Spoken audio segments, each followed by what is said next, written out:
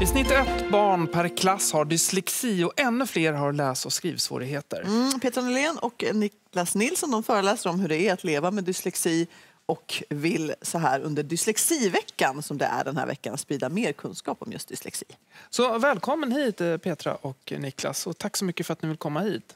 Tack så mycket. Vi tänkte att vi ska börja med, innan vi talar med så ska vi visa ett exempel på hur det kan vara att läsa när man har dyslexi. Det är då en text som först för oss som inte har dyslexi, hur den uppfattas och sen för människor som har dyslexi så blir det ganska tydligt att det blir minst sagt svårt att läsa för att bokstäverna då helt enkelt hoppar runt och lever sitt eget liv.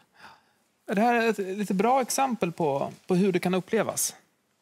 Ja, men det tycker jag. Eh, Det är ju ofta så folk eh, får det att eh, alltså förklara det. Mm.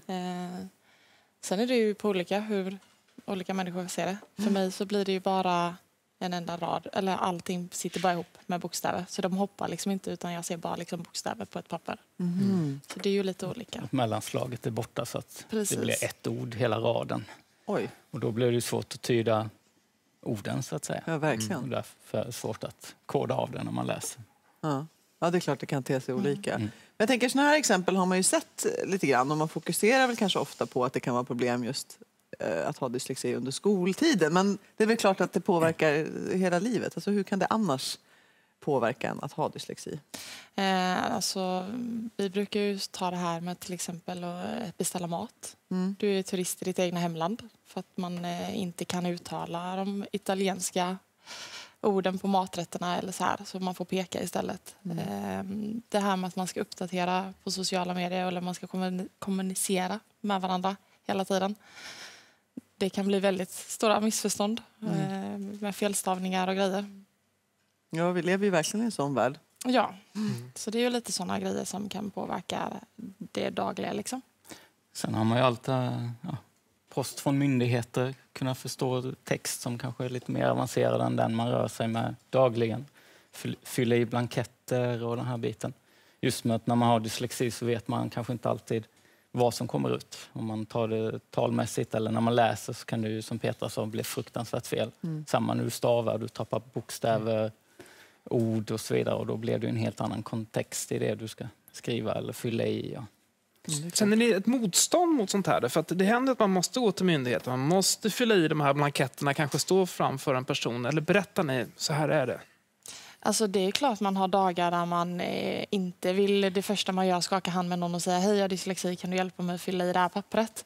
Eh, men sen är det ju det att det, för att göra lätt för sig själv så är det ju smartast att man eh, säger det. Och då får man ju ibland bara liksom hej jag har dyslexi jag, kan inte, jag förstår inte eller så. Och hur bemöts ni då? Eh, det kan ju vara allt ifrån jättepositivt att ja, men, eh, absolut vi, vi löser det till att man får lite så här en, en blick som ja, vadå kan du inte lösa det här själv typ liksom så. Men oftast nu så är ju för, alltså, har ju folk förståelse på ett helt annat sätt. Att, det har väl med kunskap att göra? Ja, exakt. Ja. Ni, ni föreläser mycket om, dem, om dyslexi i, i vardagslivet, men jag måste ändå ställa frågan, som, hur, hur var det i skolan? Eh, för mig var det väldigt eh, ja, annorlunda just att jag hade inte knäckt den här koden hur du läser och skriver. Eh, och därför utvecklades ju inte jag språkligt. Och då blev det ju att jag valde att vara så osynlig som möjligt och inte märkas, synas och, och den biten. Och då blev ju kunskapen ännu mindre. Eh, men sen har jag alltid varit väldigt nyfiken och väldigt driven så jag har ju ändå hängt med på det viset. Men det blev ju att du undvek ju att läsa högt för, inför klassen, du undvek att vara aktiv i grupparbete och sådär just för att du ja, skämdes lite över att du inte kunde och du var rädd att det skulle bli fel. Och du fick ingen särskild hjälp? Eh, Jag fick särskild hjälp eh, från mellanstadiet upp till, ehm, ja, till och med mellanstadiet. Då. Men där gjorde man ju mer, kanske inte någonting åt själva problemet utan det var mer att man hade en egen speciallärare. Man satt och gjorde det de gjorde i klassrummet. Man gjorde ingenting åt det språkliga. Det kom först mycket senare på gymnasienivå. Okej.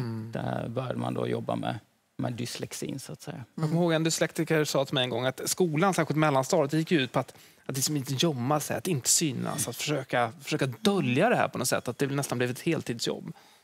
Det är ju jätteolika på hur man är. Eh, Niklas var ju sån som skulle dölja det. Eh, jag var ju den starka i klassen istället. som eh, skrek och gapade och Mm. kastade böcker för att det var mitt sätt att visa att jag behövde hjälpen. Fick du hjälp? Ja, eh, jag fick hjälpen men ville inte ta till mig hjälpen för att jag Nej. ville vara som alla andra. Ja, såklart. Det är ju ens Eh, högsta önskan i den Ja, åldern. exakt. Så att, eh, men sen när jag kom Niklas och föreläste så vågar man. Mm.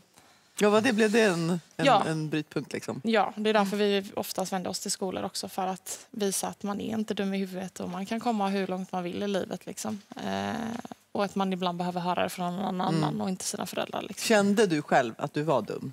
Ja, det Ja. gjorde jag.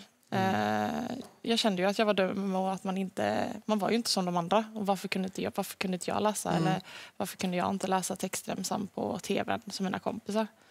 Eh, och men man, man måste ju acceptera det också. Mm. Men hur tycker ni är ett bra sätt, sätt att beskriva dyslexi? Jag brukar säga så att, eh, att hjärnan är som en mobil eller en dator och att vi saknar sista uppdateringen till den här appen som har med, med språket att göra.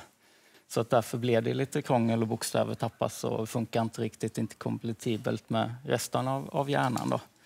Eh, och eh, ja, Vilken oerhört bra modern förklaring. Ja. det är liksom inte något fel, det bara saknas en liten Ja. del där på slutet. Och som vi brukar säga, att alltså, ja, jag och Petra kanske är lite sämre med det språkliga men vi är ju duktiga på, på andra grejer här i livet. Ju.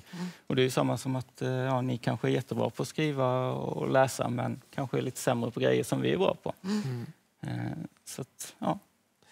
Nu, nu är det ju då eh, dyslexiveckan och eh, det är ju så här att om man då förälder till exempel och, och så har man ett barn och så misstänker man att det kanske är dyslexi så har vi bättre att göra, ta fram en, en, en lista här på vad man kan på vilka tips man ska ge dem. Ska vi ta och kika på den listan?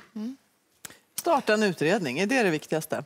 Ja, eh, för då får du på papper att, eh, vad som är problemet och då vet du hur du ska jobba med vilka problem. För just dyslektiker eller skrivsvårigheter kan vara så individuellt eh, vad som är svårigheten. Då. Ta redan på skolans skyldigheter. Ja, alltså som förälder så... mm, I dagens så är det ju liksom... De gör ju en utredning i årskurs fem. Men eh, ta reda på skyldigheterna, vad, du, vad skolan ska kunna göra och vad, vad de har skyldighet att göra. Eh, underlättar ju också som förälder. Jag antar att de har ganska mycket Ja. skyldigheter. Det har de. Ja. Alltså att ett barn med dyslexi ska få hjälp. Ja. Mm. Ja, läsa, skriva, räkna, garanti heter väl från Ja, regeringen. exakt. Så, att, ja. Så det finns alltså skyldigheter där. Sen har vi då att man eh, ska öva mycket. Mm. Öva på... Läsa, skriva. Mm. Det, det är jättetråkigt men eh, det, det har vi ju själva lärt oss nu i vuxen ålder att eh, övar vi inte på att läsa och skriva och håller oss igång så, så tappar man ju det. Eh, då, då har man ju det svårare att komma igång igen. Liksom. Så det är utmaningen att göra det roligt då kanske. För, Precis. Inspirera barnen, hitta deras grejer och sen då kanske lura in till att läsa om det eller på andra sätt. Då. För det är ju lite som kondition. Tränar du inte två gånger i veckan så blir ju kondisen sämre. Lite samma är det med dyslexi. att Utmanar du inte dig själv och övar så går du lite tillbaka till det, där du är som ursprungligt. Ja, det är klart. Ja, stort tack till er båda två för att ni kom hit och kastade ljus på detta under dyslexiveckan alltså, hela den här Tack. veckan. tack.